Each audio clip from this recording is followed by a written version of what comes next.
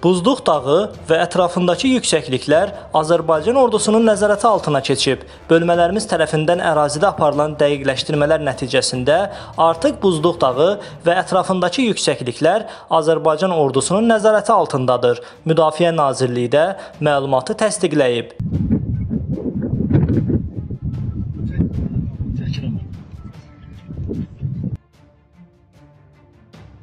Mustafa Manzela.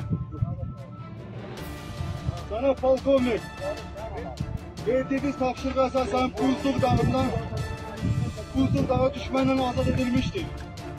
Azerbaycan Respublikası'nın bayrağı dalgalanmaktadır. Merhaba. Azerbaycanlar!